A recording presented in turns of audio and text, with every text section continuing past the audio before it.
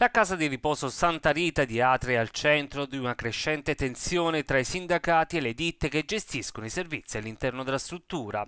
La Will FPL si prepara a dichiarare lo stato di agitazione dopo una breve fase di distensione a causa dei ritardi nei pagamenti degli stipendi alle operatrici, circa 14 che operano all'interno della struttura che ricordiamo fa capo all'ASPE 2. Il segretario provinciale della WIL FPL Massimiliano Bravo ha evidenziato che solo il 14 febbraio è stato saldato il pagamento della mensilità di novembre 2023, mentre i ritardi per dicembre e gennaio sono oramai conclamati.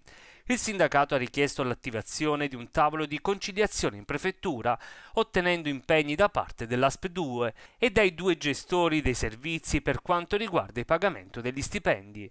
Nonostante gli impegni presi, la situazione non è migliorata concretamente, mentre l'Aspe 2 ha recuperato il ritardo contrattuale, i gestori non hanno ancora rispettato l'impegno di versare la mensilità di dicembre entro la scorsa settimana.